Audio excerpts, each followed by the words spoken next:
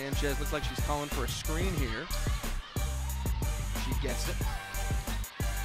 Here's Edmonds gonna put up another tray. Five on the Catamount shot clock as Gilwee hoists. High rebound pulled down. Richardson. One on three, and she gets it to go. Uh, on the wing. She calls for the pick.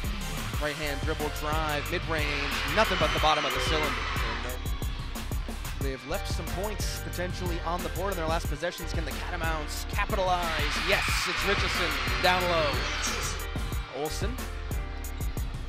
And the Catamounts get the extra possession. Nice spin move. Up off the window for two. So five to go in this first half. Here comes the tray. And that is good from Carrera. She's got five. I want to go back to the more of the screen roll into the high-low. Nice inbound from Vito to Olson.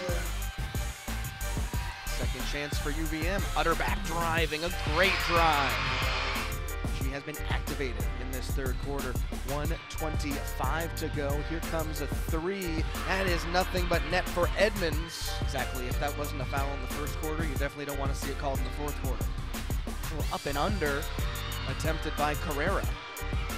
Up court, Utterback. The pass was a little bit ahead of her. Great adjustment. Now Edmonds, her second. Cast to inbound. Vito into Gilwee. Ball fake. Got it.